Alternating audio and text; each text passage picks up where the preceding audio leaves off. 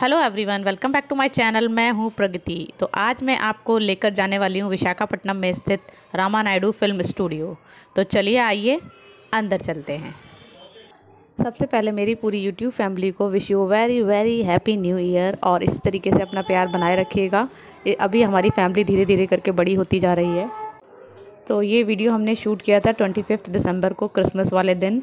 और तो मुझे वीडियो पोस्ट करने में थोड़ा सा डिले हो गया तो सॉरी फॉर दैट तो आइए अब बात करते हैं इस रामा नायडू फ़िल्म स्टूडियो के बारे में। यहाँ पर जो 90s में फ़िल्म बनती थी, उसकी शूटिंग होती थी और अभी भी फ़िल्म के कुछ कुछ पार्ट्स यहाँ पर शूट किए जाते हैं और सीरियल की शूटिंग की जाती है। देखने में तो ये फ़िल्म स्टूडियो आपको बहुत ज़्यादा खास नहीं लगेगा, बट जो इसके व्यूज़ हैं वो बहुत अच्छे हैं, साइड व्यूज़। और जब फ़िल्म की शूटिंग की जाती है तो उसी के अकॉर्डिंग इसको रिनोवेट किया जाता है और उसी तरीके सेट लगाए जाते हैं। विशाखापट्टनम के टूरिस्ट प्लेसों में से भी एक प्लेस ये भी है रामा नायडू फ़िल्म स्टूडियो तो ये जो अभी आप देख रहे हैं, ये हॉस्पिटल और फ़िल्म की शूटिंग के अकॉर्डिंग इसमें चेंजेस कर दिए जाते हैं। अभी मैं आपको मंदिर और भी चीज़ें दिखाऊँगी। तो अब हम जा रहे हैं डॉक्टर रामा नायडू की फ़ोटो एग्जीबिशन में। यहाँ पर मैं आपको पिक्चर्स दिखाऊँगी। तो ये जो आप पिक्चर में देख रहे हैं डॉक्टर रामा नायडू और नाइन्टीज़ के फ़िल्म के जो हीरो हीरोइन थे, वो भी आपको इस फ़ोटो एग्जीबिशन में दिखाई देंगे। तो मैं अभी आपको दिखाती हूँ। तो अभी आपको पिक्चर में दिखाई दे रहे हैं राजेश खन्ना जी। मैं आपको थोड़ा जूम करके दिखाती हूँ। राजेश खन्ना जी जो अवार्ड लेते हुए और श्रीदेवी जी, जयप्रदा जी और बीच में ये जितेंद्र जी अवार्ड लेते हुए और नीचे की पिक्चर में आपको अनिल कपूर जी भी दिखाई देंगे।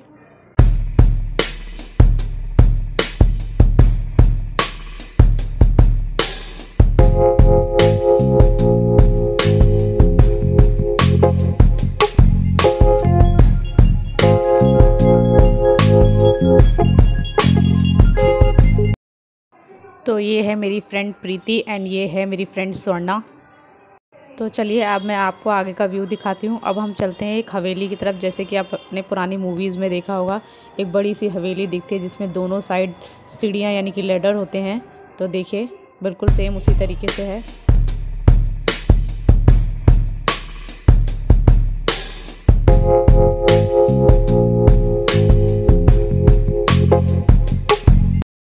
और ये है टेंपल, जो कि नाइन्टीज़ की मूवीज़ में ज़्यादातर आपने देखा होगा।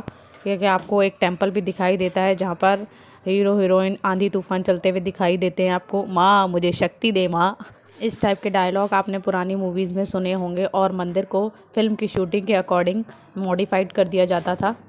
तो चलिए, आइए अब मैं आपको दिखाती हूँ जब फ़िल्म की शूटिंग के दौरान यहाँ पर टीम आई हुई होती थी और वो लोग रेस्ट करने के लिए अलग अलग रूम्स में रहते थे। इस टाइप के छोटे छोटे रूम्स, क्वार्टर टाइप जो ये रूम होते हैं, यहाँ पर बनाए हुए हैं।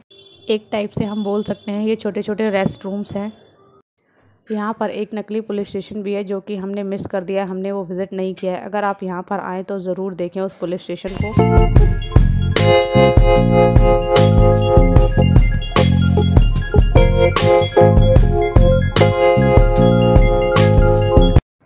चलिए, आइए अब मैं आपको दिखाती हूँ म्यूज़ियम ऑफ़ सिनेमा, जहाँ पर नाइनटी, नाइन्टीज़ की जो फ़िल्म होती थी, उसकी शूटिंग की जाती थी, जिन कैमरों से और जो प्रिंटर्स और जो बड़े बड़े कैमरेज और लाइटिंग यूज़ की जाती थी, वो मैं आपको दिखाने वाली हूँ।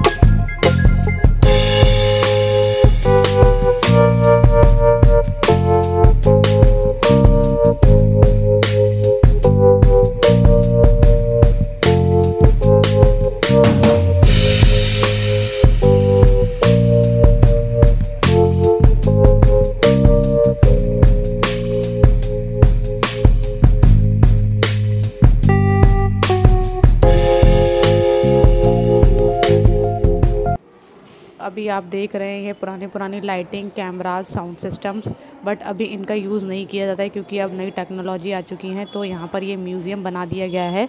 तो आप जाकर इनको देख सकते हैं कि पुराने समय में किस टाइप के कैमराज लाइटिंग यूज़ की जाती थी। ज़्यादातर इस फ़िल्म स्टूडियो में तेलुगु फ़िल्म की शूटिंग्स होती थी और कुछ हिंदी फ़िल्म की शूटिंग भी यहाँ पर हुई है।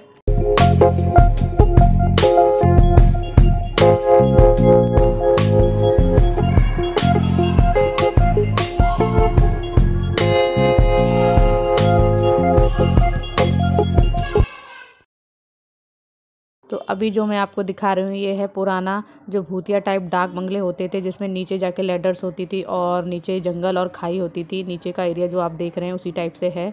और ऊपर ये एक, खंडर टाइप बंगला बना हुआ है जो ज़्यादातर जो भूत की फ़िल्म होती थी शूटिंग की जाती थी उसी टाइप से बना हुआ है ये।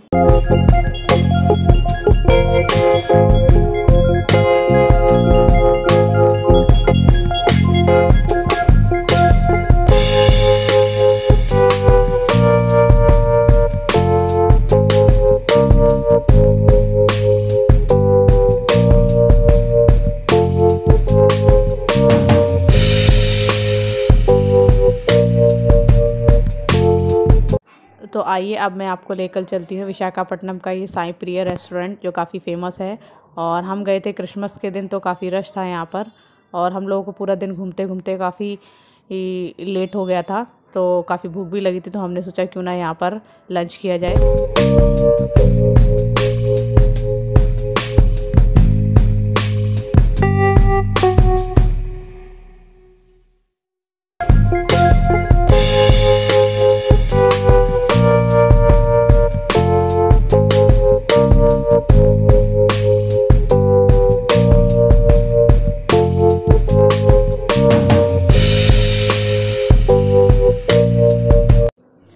रेस्टोरेंट के बैक साइड का ओपन एरिया है। यहाँ पर आप ओपन एरिया में भी डिनर या लंच कर सकते हैं और पीछे रूम्स दिए हुए हैं अगर आपको नाइट स्टे करना है तो। और और पीछे जाएँगे तो वहाँ पर आपको एक गार्डन मिलेगा, वो भी मैं आपको अभी दिखाऊँगी। तो अगर आप विशाखापट्टनम आएँ तो इस रेस्टोरेंट में ज़रूर विज़िट कर सकते हैं, काफ़ी अच्छा रेस्टोरेंट है। मुझे पर्सनली काफ़ी अच्छा लगा ये रेस्टोरेंट और ये बैक साइड का गार्डन है। इसका व्यू मैं आपको जो अभी दिखा रही हूँ, ये काफ़ी अच्छा ग्रीनरी पीछे है यहाँ पर। तो मैं अब आपको लेके जाने वाली हूँ विशाखापट्टनम के नेक्स्ट टूरिस्ट प्लेस जिसका नाम है थोतला कोंडा यह एक तेलुगु नाम है। तो अब मैं आपको थोतला कोंडा का मीनिंग बताती हूँ। थोतला मीन्स थॉट्स और कोंडा मीन्स हिल्स ये बुद्धिस्ट कॉम्प्लेक्स भीमलीपट्टनम के पास पड़ता है। ये वाइजैग सिटी से पंद्रह किलोमीटर की दूरी पर है। ये 2000 साल पुराना बुद्धिस्ट हेरिटेज है यहाँ का। नाइन्टीज़ में इस जगह के बारे में तब पता चला जब इंडियन नेवी नेवल बेस को बनाने के लिए एक एरियल सर्वे कर रही थी। यह जगह रेलवे स्टेशन से 20 किलोमीटर की दूरी पर है और एयरपोर्ट से ये 28 किलोमीटर की दूरी पर पड़ता है। यह एक बौद्ध परिसर है। तो चलिए, आइए, अब मैं इसका आपको पूरा व्यू दिखाती हूँ। यहाँ से हम अंदर की तरफ़ जाएँगे। अंदर थोड़ा काफ़ी लंबा है। उसके बाद गेट आएगा। गेट से हम अंदर एंट्री करेंगे। अगर आपको मेरा ये वीडियो अच्छा लगे तो वीडियो को लाइक कीजिएगा। अगर आपने मेरा चैनल अभी तक सब्सक्राइब नहीं किया है, मेरा वीडियो आप फ़र्स्ट टाइम देख रहे हैं तो चैनल को सब्सक्राइब कीजिएगा। बेल आइकन को प्रेस कर लीजिएगा, जिससे मेरे आगे आने वाले नए वीडियो के नोटिफिकेशन आपको सबसे पहले मिल पाएँ। और हाँ मुझे कमेंट करके ज़रूर बताइएगा कि मेरा ये वीडियो आपको कैसा लगा है।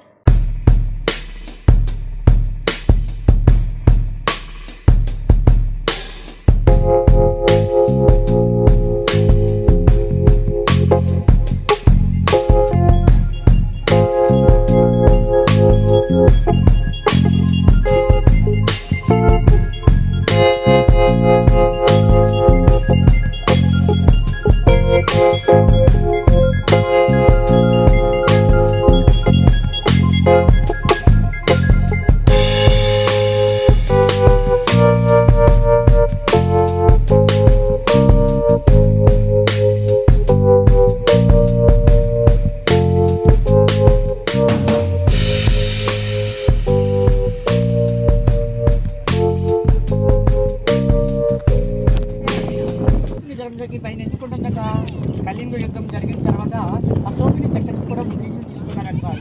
తన రాజు. తన ఆయనలోనే వెళ్ళి డెవలప్మెంట్ చేయబడేటమ్మా ఏది ఏమైనా రాజు రాజే కదా. తన సింబలే అశోకుని ధర్మచక్రం అది మూడు ధర్మసోసాలకి ప్రత్యేకత బుద్ధం చరణం గచ్చామి ధర్మం చరణం గచ్చామి సంఘం చరణం గచ్చామి. ఈ మూడు ధర్మసూత్రాల ప్రత్యేకతే అశోకుని ధర్మచక్రం చాలా మంది పిల్లలు నలభై కదా.